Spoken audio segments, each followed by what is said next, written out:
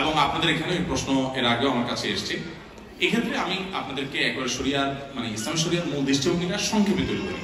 নবী করিম সাল্লাম তাকে জিজ্ঞাসা করেছে রাসূলুল্লাহ, আমরা যখন সালাম করব এক অন্যকে আমরা কি মাথা ঝুঁকাবো? নবী ওয়াসাল্লাম বলেছেন, না, মাথা ঝুঁকাবো, মাথা আল্লাহর সামনে শুধু ঝুঁকাবো। হাত মেলাবো হ্যাঁ হাত মেলাবো। মোয়ানাকা করব, অভিবাদন জানাব, মুসকে হাসি দেবো, এগুলো তো সব অন্য হাদিস দ্বারা প্রমাণিত, কিন্তু মাথা ঝুঁকাবো না। তো এই জন্য সারা বিশ্বের সমস্ত লামাইকরাম একমত, যদি আমরা মাথা ঝুঁকাই মাথা ঝুঁকাই বলতে রুকুর মতো। একটু যে হালকা একটু ঝুঁকছে, এটা তো কোনো অসুবিধা নেই, কিন্তু দেখতে রুকুর মতো হয়ে যাচ্ছে।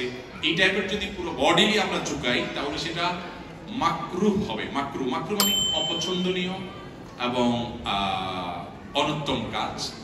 কিন্তু এটা হারাম পর্যায়ের না না।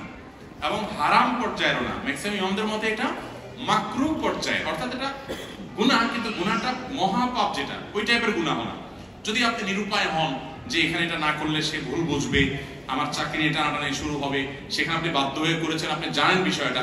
তো আশা করা যায় যে এর কারণে আপনার বড় কোনো গুণা তো হবেই না, আল্লাহ তালা আপনাকে মাফ করবেন, কারণ বিষয়টা এরকম।